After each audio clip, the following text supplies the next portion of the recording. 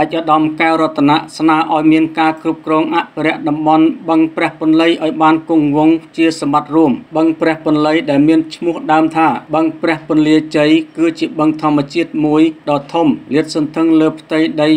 270ហិកតាស្ថិតនៅក្នុងឃុំផ្ទះរងស្រុកតាឡូសានជ័យមានចម្ងាយ28គីឡូម៉ែត្រពីទីរួមខេត្តពោធិ៍សាត់បឹងនេះជាតំបន់អេកូទេសចរមួយដ៏ទាក់ទាញព្រោះជាជំរំសត្វស្លាបនិងជីវៈចម្រុះច្រើនប្រភេទដោយសារបឹងព្រះពន្លៃគឺជាសម្បត្តិធម្មជាតិដ៏មានសក្តានុពល របស់ស្រុកតាឡូសានជ័យដែលអាចផ្ដល់អត្ថប្រយោជន៍យូរអង្វែងដល់ប្រជាពលរដ្ឋថ្មីថ្មីឯកឧត្តមកែវរតនៈប្រធានក្រុមការងាររាជរដ្ឋាភិបាលចុះមូលដ្ឋានខេត្តពោធិ៍សាត់បានស្នើឲ្យមានការគ្រប់គ្រងអភិរក្សដីតំបន់បឹងព្រះពន្លៃឲ្យបានគង់វង្សជាសម្បត្តិរួមហើយបឹងធម្មជាតិនេះមិនមែនជាកម្មសិទ្ធិផ្ដាច់មុខរបស់ប្រជាពលរដ្ឋខេត្តពោធិ៍សាត់ឬជនណាម្នាក់ឡើយវាគឺជាសម្បត្តិរួមរបស់ប្រជាជនកម្ពុជាទាំងមូលប្រសិនបើយើងទាំងអស់គ្នាមិនអាចថែរក្សាបានគឺមានន័យថាយើងគ្មានមាយាទក្នុងនោះដែររដ្ឋបាលខេត្តពោធិ៍សាត់បានសម្រេចបង្កើតក្រុមការងារដើម្បីចុះត្រួតពិនិត្យនិងធ្វើបច្ចុប្បន្នភាពតំបន់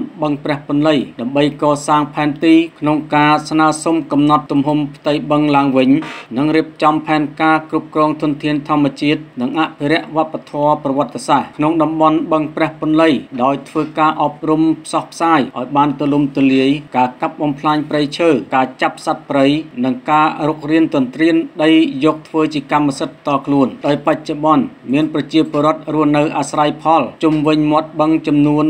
260ក្បាលដីស្មើនឹង242ហិកតាគិតជាគ្រួសារមានចំនួន216គ្រួសារហើយអាងទឹកព្រះពន្លៃនេះអាចស្រោចស្រពលើផ្ទៃដីស្រូវវស្សាបានពី6500ហិកតាទៅ10000ហិកតា និងស្រូវប្រាំង4200ហិកតា Fafa 007ជាជំរើសវេទិកាកំសាន្តដែលល្អបំផុតសម្រាប់លោកអ្នក Fafa 007ធំជាងគេល្អផ្ដាច់គេ